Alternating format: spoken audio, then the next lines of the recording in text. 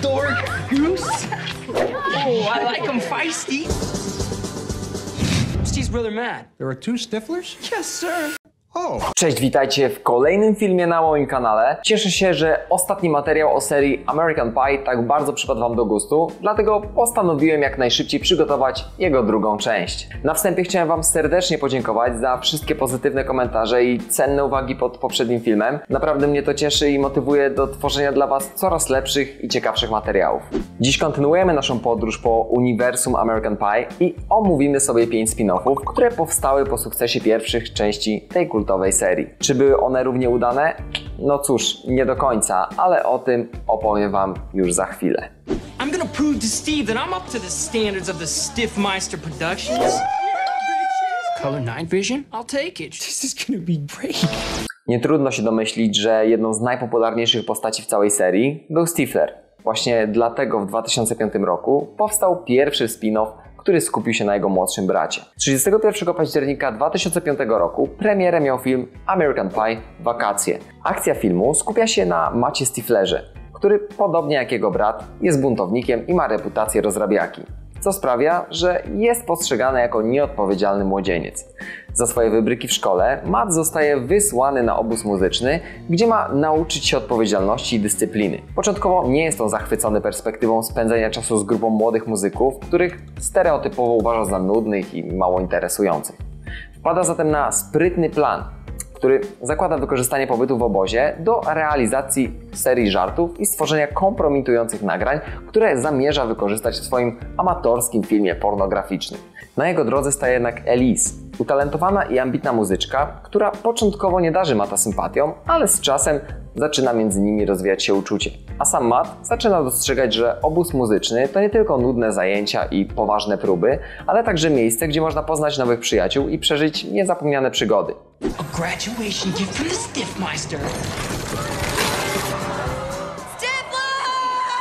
Film kontynuuje tradycję serii American Pie, wprowadzając postacie nawiązujące do archetypów znanych z wcześniejszych filmów. Matt Stifler przechodzi przemianę z aroganckiego, niedojrzałego nastolatka w bardziej odpowiedzialną i świadomą osobę. American Pie Wakacje to film, który choć nie osiągnął takiego sukcesu jak oryginalne części tej serii, to jednak zdołał rozszerzyć świat tego uniwersum, wprowadzając nowe postacie i sytuacje, które przypadły do gustu zagorzałym fanom serii. Kolejny spin-off miał swoją premierę niewiele później, bo w 2006 roku i nosił tytuł American Pie Nagamila.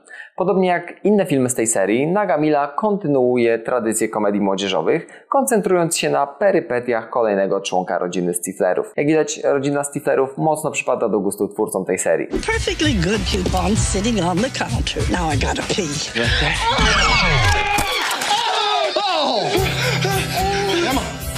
That's the day my grandmother died. Tym razem głównym bohaterem jest Eric Stifler, kuzyn Steve'a Stiflera, znanego z oryginalnej serii. Eric wyróżnia się w rodzinie Stiflerów tym, że jest znacznie bardziej cichy, nieśmiały i odpowiedzialny niż jego słynny kuzyn. Jednak aby udowodnić, że zasługuje na nazwisko Stifler, postanawia wziąć udział w corocznym biegu nagich studentów na swoim uniwersytecie. Podczas przygotowań do biegu Eric i jego przyjaciele doświadczają szeregu komicznych i często nieprzyzwoitych sytuacji, które są charakterystyczne dla serii American Pie. Eric który próbuje odnaleźć się w świecie pełnym dzikich imprez i rozrywek, mimo to staje przed dylematem moralnym, gdy jego dziewczyna Tracy daje mu zielone światło na tę jedną noc, aby mógł spróbować rzeczy, które są normą w życiu Stiflerów.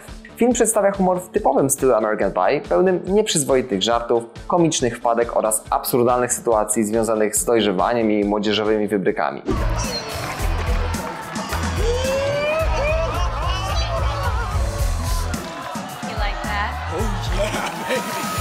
Nagamila próbuje balansować pomiędzy dziedzictwem rodziny Stiflerów, a bardziej stonowaną naturą głównego bohatera, co wprowadza ciekawą dynamikę do fabuły.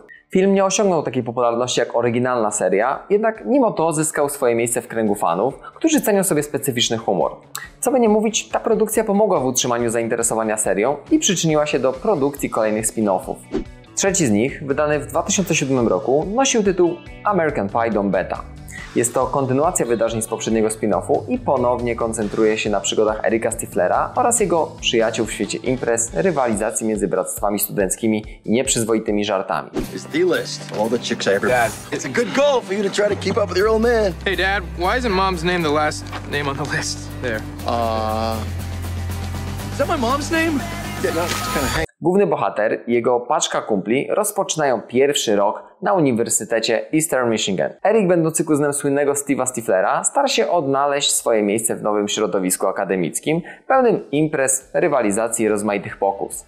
Po przybyciu na kampus, Eric i jego przyjaciele dołączają do legendarnego Bractwa Beta, którym przewodzi Dwight Stifler. Beta House jest znane ze swojego hedonistycznego stylu życia, a nowo przybyli członkowie szybko stają się częścią szalonego studenckiego świata. Głównym wątkiem filmu jest rywalizacja między Bractwem Beta House a Bractwem Geek House, który składa się z bogatych i inteligentnych studentów o nerdowskich zapędach. Geek House ze swoimi członkami skupionymi na technologii i nauce stara się obalić tradycyjne dominujące Beta House przejąć kontrolę nad kampusem. Oprócz rywalizacji, film porusza również tematy typowe dla komedii młodzieżowych, takie jak miłość, przyjaźń i dorastanie. Eric zmaga się z wyzwaniami związanymi z utrzymaniem związku na odległość z jego dziewczyną Tracy, która nie podziela jego entuzjazmu dla dzikiego życia studenckiego. Yep. Do you want to go out with me once? Yeah. Really? Place is awesome. Little help here? Still hot. Mr. Biggles! Film utrzymuje styl typowy dla serii American Pie z dużą ilością nieprzyzwoitych żartów i scen przepełnionych przesadą. Humor filmu koncentruje się na absurdalnych sytuacjach i stereotypowych wyobrażeniach o życiu w bractwach studenckich. I tak dochodzimy do przedostatniego spin-offa, zatytułowanego American Pie Księga Miłości, który został wydany w 2009 roku. This is my little brother Cody, and this is what he does with the vacuum every day.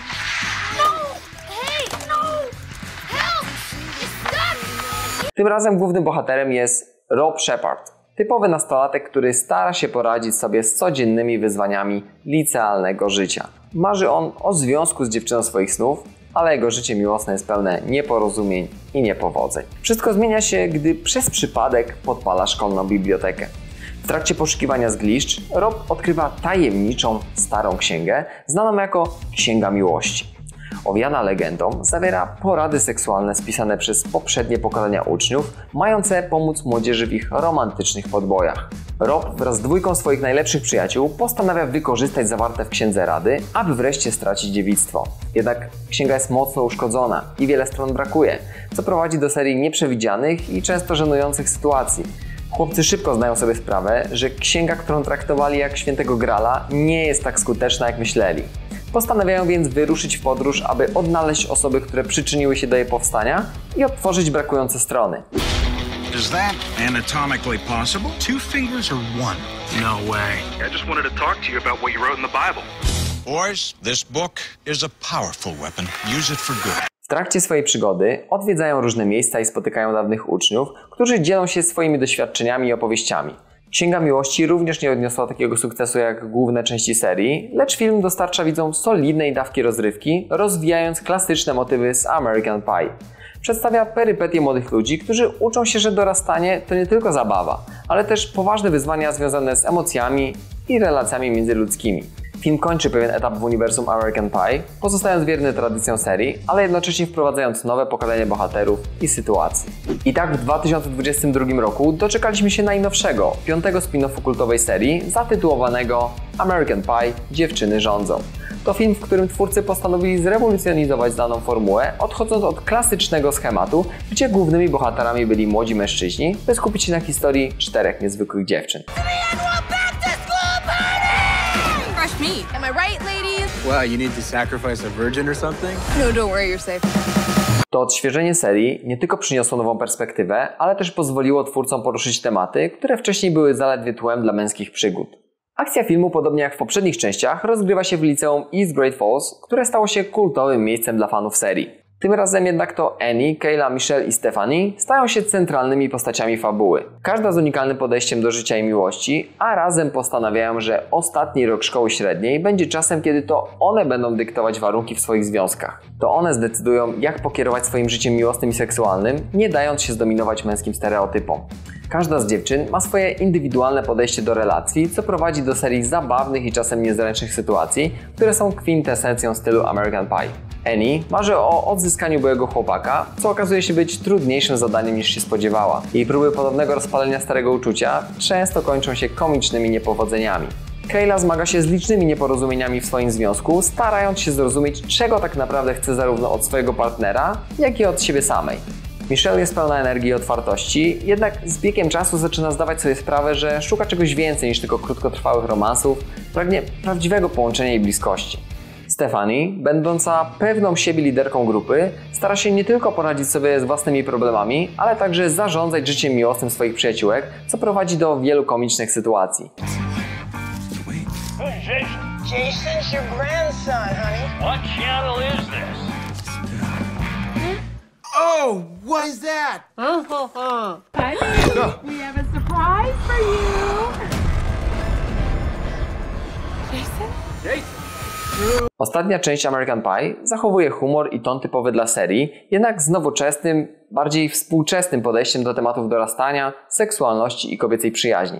Mimo obecności typowych dla serii nieprzyzwoitych żartów, narracja filmu skupia się bardziej na kobiecej perspektywie, co wyróżnia go na tle wcześniejszych części i nadaje mu świeżości, której potrzebowała ta klasyczna komedia młodzieżowa. Omówiliśmy już wszystkie spin-offy z serii American Pie, ale teraz pora odpowiedzieć na kluczowe pytanie. Czy te filmy były tak popularne jak główne części serii? Jak mogliśmy dostrzec, to niestety nie. Spin-offy, choć miały swój urok i zdołały przyciągnąć pewną grupę fanów, nigdy nie dorównały popularności oryginalnych filmów. Średnio każdy spin-off zarobił około 10 razy mniej niż filmy z głównej serii. Podczas gdy pierwsze trzy części American Pie osiągały imponujące wyniki zarabiając po ponad 200 milionów dolarów na całym świecie, spin-offy generowały zyski rzędu 27,5 miliona dolarów. Można by powiedzieć, że temat się przejadł, że widzowie stracili zainteresowanie serią. Jednak rok 2012 przyniósł coś, co zaprzeczyło tej tezie. Powrót oryginalnej ekipy w filmie American Pie Zjazd Absolwentów udowodnił, że to nie temat, lecz postacie są kluczowe dla sukcesu tej serii. Film ponownie przekroczył magiczną granicę 200 milionów dolarów zysku, co pokazuje, jak bardzo widzowie związali się z oryginalnymi bohaterami Jimem, Stiflerem, Michelle i resztą ekipy. To wyraźnie wskazuje, że to właśnie bohaterowie, ich rozwój i interakcje są tym, co przyciąga widzów, a nie tylko sama fabuła czy tematyka filmu. Spin-offy, które wprowadzały nowe postacie i mniej znane twarze, nie były w stanie stworzyć tej samej więzi z widzami. Jest to dosyć częste zjawisko w świecie kina. Kolejne części popularnych serii często tracą na jakości i popularności w porównaniu do pierwszego filmu, który skradł serca widzów i zapoczątkował całą serię.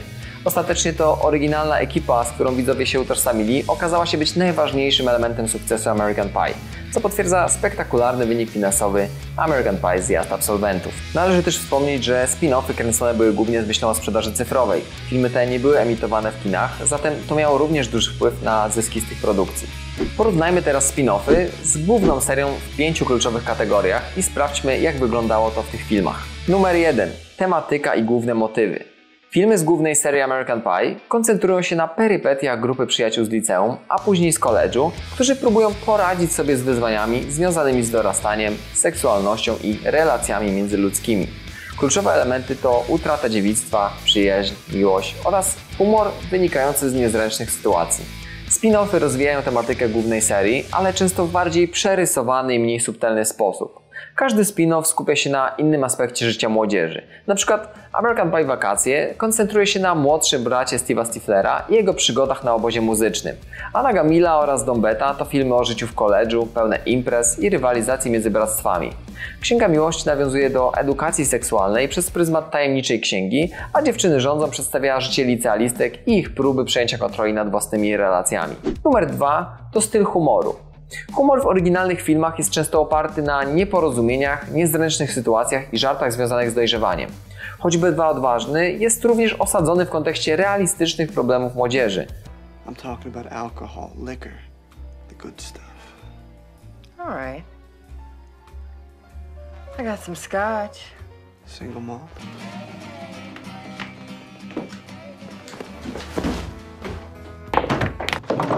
Where's... Mom? Shipwreck? Oh, hey, Stifler. Natomiast humor w spin-offach jest bardziej przerysowany, często skrajnie absurdalny i mniej subtelny. Spin-offy stawiają na bardziej wulgarne żarty i sytuacje, które mają za zadanie zszokować lub rozśmieszyć widza, ale nie zawsze udaje się to w sposób tak spójny jak w głównej serii. Często brakuje im równowagi między komedią a emocjonalnym tonem, który był obecny w oryginalnych filmach.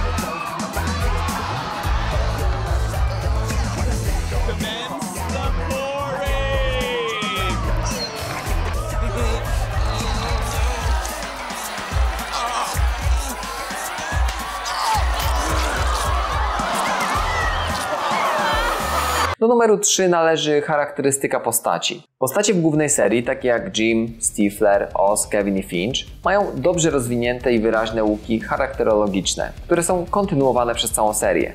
Każdy film rozwija ich osobiste historie i relacje, co sprawia, że widzowie mogą się z nimi utożsamiać. W spin-offach postacie są często mniej rozwinięte i bardziej jednowymiarowe. Bohaterowie spin-offów to zazwyczaj nowe postacie, które nawiązują do archetypów z oryginalnej serii, ale bez głębszego rozwinięcia.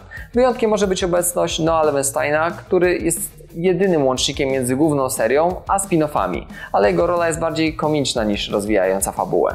Numer 4. Odbiór krytyczny i popularność. Filmy z głównej serii, szczególnie pierwszy American Pie, zdobyły ogromną popularność i uznanie, stając się klasykami komedii młodzieżowych. Odbiór krytyczny był zazwyczaj pozytywny, z uznaniem dla umiejętności balansowania między humorem a realistycznym przedstawieniem problemów młodzieży. Spin-offy były przyjęte znacznie gorzej, zarówno przez krytyków, jak i przez widzów. Były one postrzegane jako próba wyciągnięcia większego zysku z sukcesu oryginałów, ale bez ich świeżości i pomysłowości. Ich popularność była znacznie niższa, a produkcja ograniczona do bezpośrednich wydań na DVD, co wskazuje na ich ograniczony zasięg i budżet.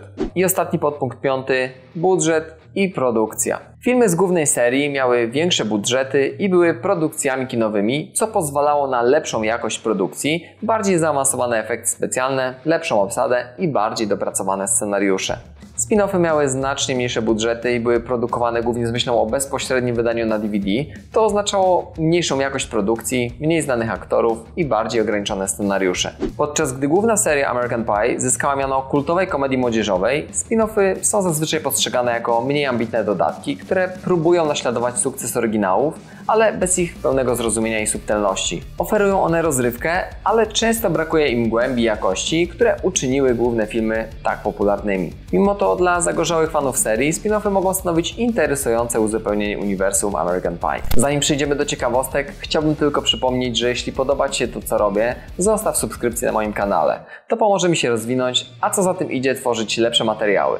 Dzięki, że oglądasz i zapraszam do dalszej części filmu. Ciekawostka numer 1. Powrót Eugena Leviego. Eugene Levy jest jedynym aktorem, który pojawił się we wszystkich czterech głównych filmach American Pie oraz we wszystkich spin-offach. Gra postać Noah Levensteina, ojca Jima. Jego obecność w spin-offach miała na celu utrzymanie związku z główną serią i nadanie spin-offom pewnej autentyczności w oczach fanów. Ciekawostka numer 2. Rola Tada Hilgenbringa jako Mata Stiflera. Tad Hilgenbrink który zagrał Mata Stiflera w American Pie Wakacje, początkowo przyciągnął uwagę producentów swoją fizyczną podobizją do Shona Williama Scotta, który zagrał Steve'a Stiflera w głównej serii. Hilgenbrink przyznał, że przygotowując się do roli, oglądał filmy z głównej serii, aby uchwycić maniery i styl gry Scotta. Ciekawostka numer 3 kontrowersje wokół Nagie Mili. American Pie Nagamila spotkał się z pewnymi kontrowersjami, ponieważ przedstawia coroczny bieg, w którym studenci uczestniczą nago. Chociaż film miał na celu ukazanie tego jako zabawnej młodzieżowej tradycji, temat nagości i ekscesów imprezowych wzbudził mieszane reakcje, zarówno wśród krytyków, jak i publiczności. Ciekawostka numer 4. Inspiracja dla domu Beta. Film American Pie Dom Beta jest silnie inspirowany klasycznymi filmami o obrazstwach studenckich, takimi jak Animal House z 1978 roku. Film obfituje w rywalizację między bractwami i pełne absurdu wyzwania, co jest hołdem dla tego gatunku komedii. Ciekawostka numer 5. Sceny niewykorzystane i alternatywne zakończenia. W niektórych spin-offach, takich jak Dom Beta, nakręcono sceny, które ostatecznie nie znalazły się w finalnej wersji filmu. Te niewykorzystane materiały, a także alternatywne zakończenia są często udostępniane jako dodatki na wydaniach DVD, co stanowi dodatkową atrakcję dla fanów. I ostatnia, szósta ciekawostka. Dziewczyny rządzą jako pierwszy spin-off z kobiecą perspektywą. American Pie Dziewczyny rządzą był pierwszym filmem w serii, który skupił się na grupie kobiet jako głównych bohaterek. Był to celowy krok w kierunku odświeżenia marki American Pie i dostosowania jej do bardziej współczesnych standardów, które kładą większy nacisk na różnorodność i równość płci. Mam nadzieję, że spodobało Wam się to szczegółowe omówienie spin-offów z kultowej serii American Pie. Choć te filmy nie zdobyły takiej sławy jak oryginały, wciąż dostarczają masę zabawy i czasem nawet szalonych przygód, rozwijając tematy, które sprawiły, że American Pie stało się ikoną komedii młodzieżowej. Od American Pie Wakacje aż po Dziewczyny rządzą. Każdy z tych filmów dał coś nowego do uniwersum, choć niestety nie zawsze z taką samą siłą. Jeśli podobał Ci się ten film, nie zapomnij zostawić łapki w górę, zasubskrybować kanału i podzielić się swoimi przemyśleniami w komentarzu. Który ze spin-offów American Pie jest Twoim ulubionym? A może wolisz oryginalną serię? Koniecznie daj znać. Tymczasem dzięki za oglądanie i do zobaczenia w kolejnym filmie. Cześć!